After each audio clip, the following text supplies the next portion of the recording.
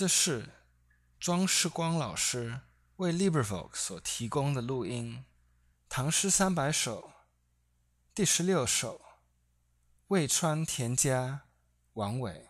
渭川田家王维，霞光照日落，江行牛羊归，夜路念木动。一点好灯辉，地歌灭了秀，残命霜叶稀。